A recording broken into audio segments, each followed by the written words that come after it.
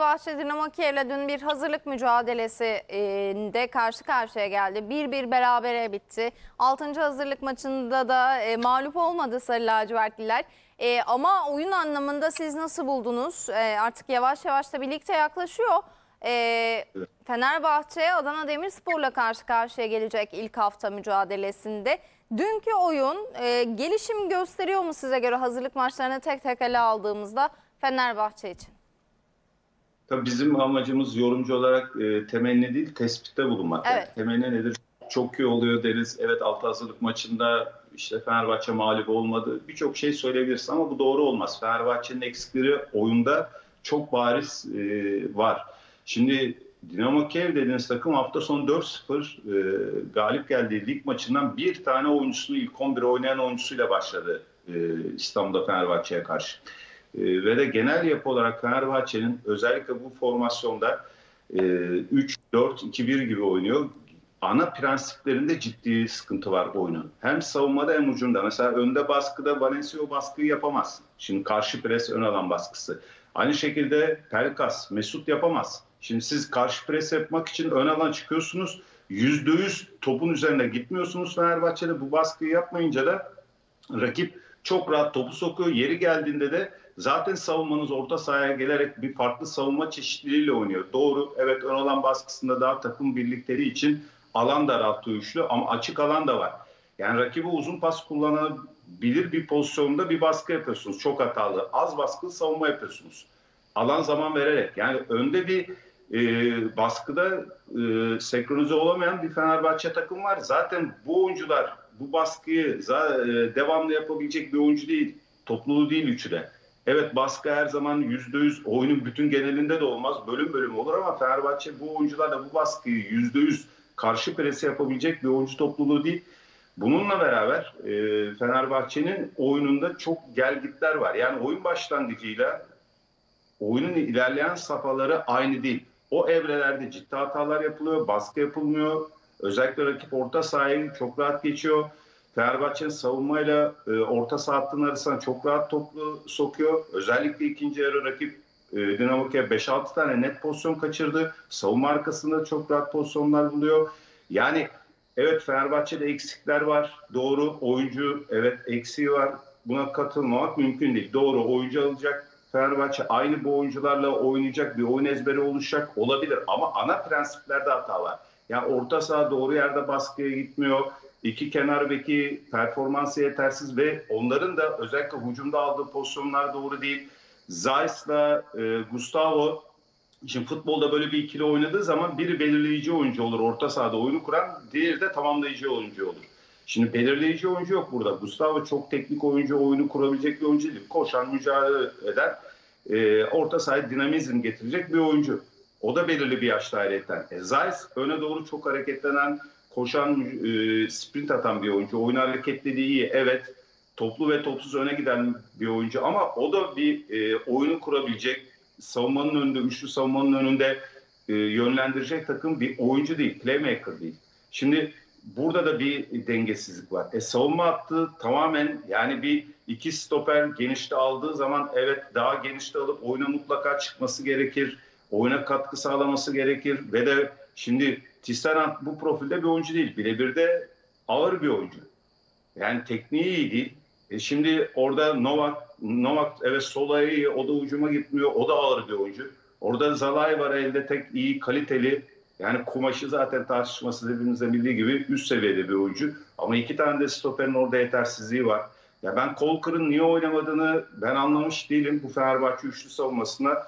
Kol, Kolkır iyi bir oyuncu, iyi bir profesyonel. Evet geçmişte Liverpool'da oynadı. Geçmişiyle tabii ki oynanmıyor ama e, Alliance Spor'da da iyi performans verdi. Kolkır'ı sol stoper oynatırsanız yani sol stoper denemeleri yaptı Victor Pereira. Doğru değil. Yani performans alamazsınız. Kolkır denge stoperidir, etkilidir, birebir de sağlamdır. Topu oyuna sokabilir.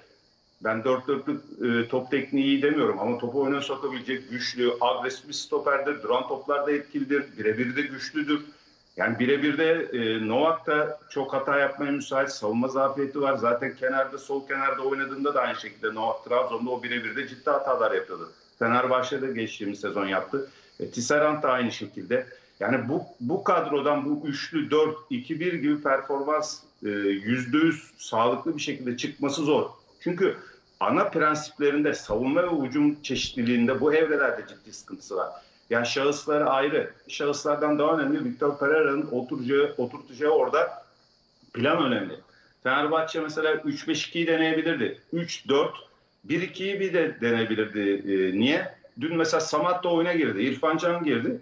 E, Serdar'la Samat'la iki santrofor yap. Arkasında İrfan Can de ki bir göreyim de 3-4-1-2. Yani burada bir esneklik de göstermedi. Aynı e, kendi ilk hazırlık maçına nasıl oynatsa 3-4-2-1 gibi bir performans. Bir de burada Mesut'la e, Pelkas'a e, yani e, ciddi bir sürdürülebilir oyunu olması gerekir performans açısından. Evet 40 hafta var bu sene. e, 38 maç oynanacak bu sene. Şimdi 38 maçta bunun 30 maçın ikisinin performans vermesi gerekir. Yani nedir bu performans? İşte asist yapıp gol yapmaları gerekir. Yaparlar mı? Soru işareti. Fenerbahçe'nin zaten en büyük sıkıntısı bu oyun ana planının sürdürülebilirliği yok. Oyun başlangıcı 5-10 dakika baskı, ondan sonra oyunda kopukluklar var. İşte böyle bitiyor. Devre arasından sonra yine bir 5 dakika bir baskı, tekrar kopukluklar. Yani Fenerbahçe'nin sürdürebilir ana planının sağ içinde sağlıklı bir oyunu yok. Esas burada sıkıntı var. Yani Victor Pereira'nın e, aynı zamanda bir de eldeki kadroyu doğru değerlendirip bu oyunculara uygun bir e, oyun oynatması gerekir. Bu oyunculara uygun olmayan oyun oynanırsa sıkıntı yaşar Fenerbahçe. Şimdi ana plan üzerine söyledim. Üçlünün e, farklı dizilişleriyle Fenerbahçe oynayabilir. E, dörtlüde de farklı bir B planında oynayıp e, Fenerbahçe takımını görmesi gerekir. Yani bir şeyleri deniyor antrenör olarak doğru yapıyor evet ama takım buna müsait mi? Takım bu reaksiyonu veriyor mu? Eldeki malzeme performans istediğin performansı veriyor mu? Şimdi bir teknik adam bunları sorgulaması gerekir. Fenerbahçe'nin e, yani genel yapı olarak saha oyununda, organizasyonunda ciddi sıkıntılar var. Onu söylemek gerekir. Bu da geçtiğimiz dönemlerde bana göre e, yapılan yanlış transferlerden düşünebiliyor musunuz? Novak stoper oynuyor. Sol bek kullanmıyorsunuz. Caner'i oynatıyorsunuz. Caner'in performansı iyi değil. Evet. Caner'i kadro dışı bırakıyorsunuz. Ve de bu iki tane oyuncuyu geçen sene ciddi rakamlara transfer ettiniz. Yani Fenerbahçe'nin de oyuncu olarak bu işleri büyük para yatırarak çözmek yerine bana göre yani kalifeli antrenörlerle çalışması gerekir. Victor Pereira bu işe kafayı yoran bana göre kötü bir antrenör de değil. Geçtiğimiz e, sezonlar için bunu söylüyorum. Ama eldeki kadroyu Victor Pereira'nın mutlaka daha doğru kullanması gerekir. Ne hangi plana, hangi sisteme, hangi futbol anlayışına uygun bunu mutlaka kendinin doğru analiz etmesi gerekir. Hocam aynı zamanda e, dün Sarı Lacivertlilerde bir gelişme daha yaşandı. O da Caner ve Sinan Gümüş e, kadro dışı bırakıldılar. Kendilerine kulüp bulmaları istendi. Vitor Pereira'nın kararı doğrultusunda bu e, yolun izlendiği yönetim tarafından açıklandı. Bununla ilgili değerlendirmeniz ne olur? Şimdi Caner e, yani üçlüde kenar beki oynadığınız zaman geçen hatta sizin programa bağlandığımda da söyledim. Evet. Yani birebir adam gerekir oyuncunun. Dayanıklılığının iyi olması gerekir. Hızının iyi olması gerekir. Tekniğinin iyi olması gerekir.